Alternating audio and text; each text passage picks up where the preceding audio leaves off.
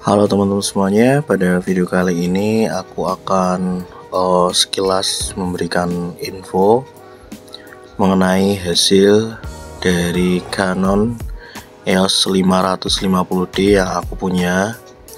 Dan kamera ini aku pasang lensa 35 mm Yongnuo ya tentunya. Dan aku akan memberikan hasil uh, dari Canon 550D ini menggunakan lensa 35 mm dari Yongnuo ya teman-teman.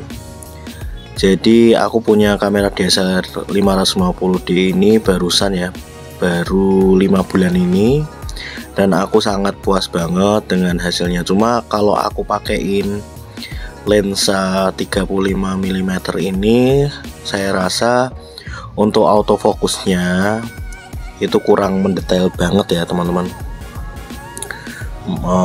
Menurutku aku lebih suka menggunakan lensa 50 mm milik Canon. Nah itu lensanya itu detail banget hasilnya ya teman.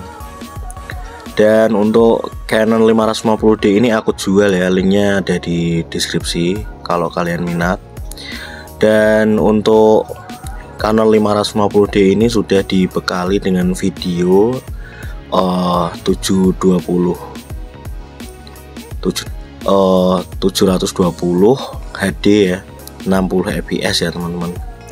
Cuma aku sarankan untuk menggunakan uh, video itu manual saja.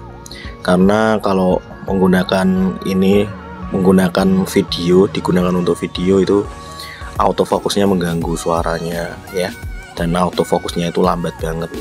Dan untuk hasilnya aku akan kasih di video selanjutnya ini ya teman-teman. Silahkan simak baik-baik apakah bagus atau tidak